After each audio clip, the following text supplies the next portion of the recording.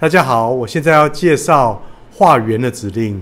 在 AutoCAD 里面有许多的画圆的方式，这边有提供中心、半径点、中心点、直径。好，提供中心点，提供直径就可以画出圆；提供中心点，提供半径可以画出圆。我们可以用两点啊，我们定义一个一个呃圆的这个这个直径也是可以画圆。三点啊，如果你学过中学的这些呃几何学，就知道三点可以定出一个圆来。那另外还有提供相切、相切半径，就两个切线再加上一个半径决定一个圆，或者是相切、相切、相切，也就是三个切线来决定一个圆等等的不同的方式。所以今天我就是要用呃这个右边画右边这个看起来蛮可爱、蛮有意思的图的这个这个图的方式来介绍这几个指令。首先，我们介绍中心点半径这个指令。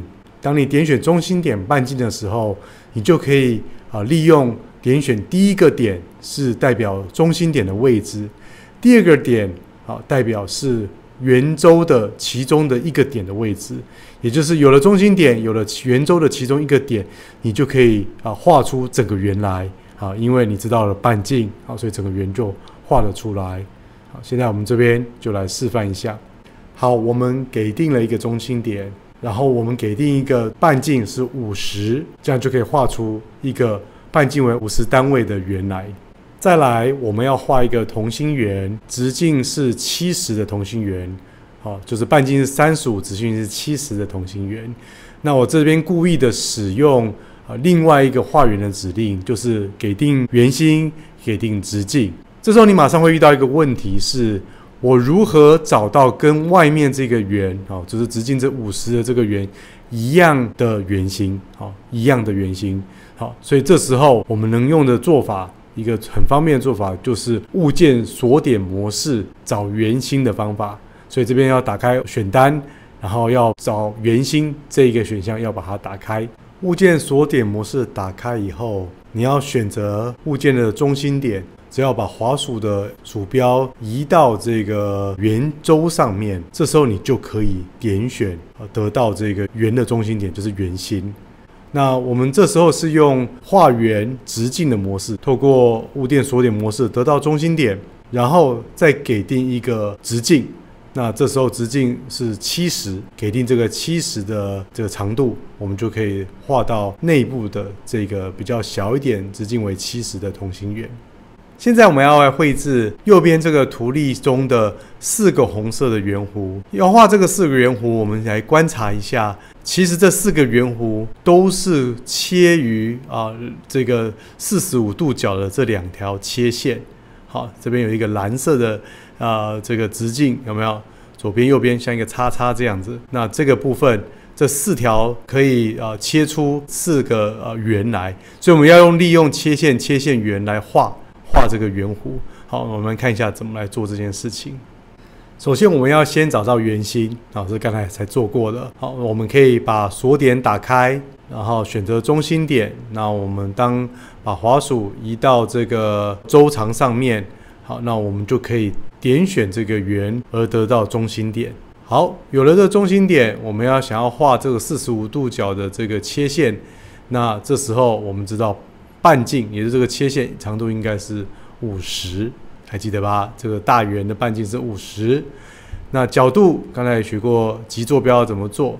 好，那极坐标当然就是要给定四十五度角，因为它跟 x 轴成四十五度角。好，那就可以画出这一条切线来。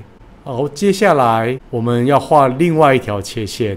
呃，一样的做法，好，一样是从圆那锁点得到圆心，再从圆心开始画，好，那这时候极坐标的画线方法，它的长度应该还是五十，那它的角度跟 x 轴夹三百一十五度，或者你可以写负四十五度，好，那你就可以得到另外一条切线。现在我们要用相切相切半径的方式来画圆。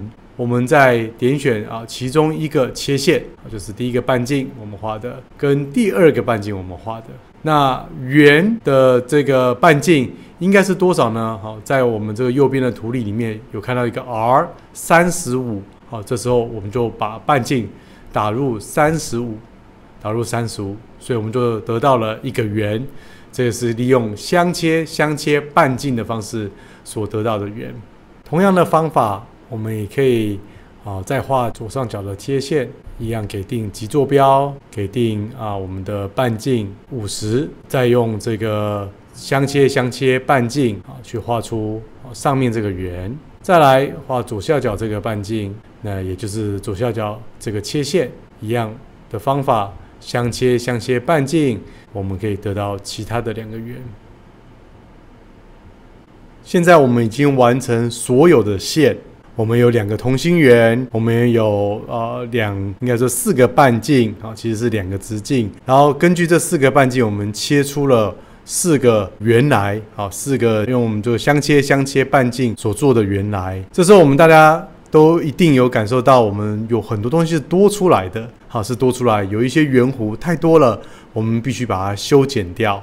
所以在这个地方，我们要介绍一个在 AutoCAD 里面非常重要的指令，叫做修剪指令。从修剪指令的这个说明，你可以看得到修剪的物件。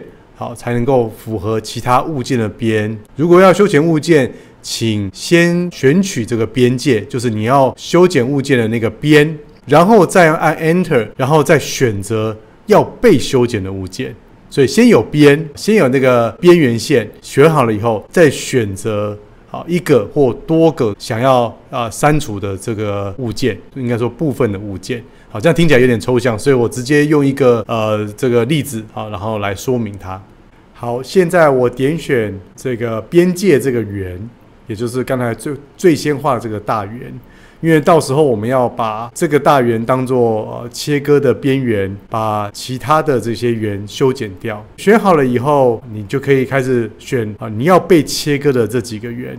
把这个弧，好，你在画的时候就会发现有一个叉叉在那个圆的旁边，哎，就可以很容易的就把它修剪掉。好，其实非常的容易。好，我希望同学多练习几次。好，这个非常常用，而且呃非常实用的指令叫做修剪指令。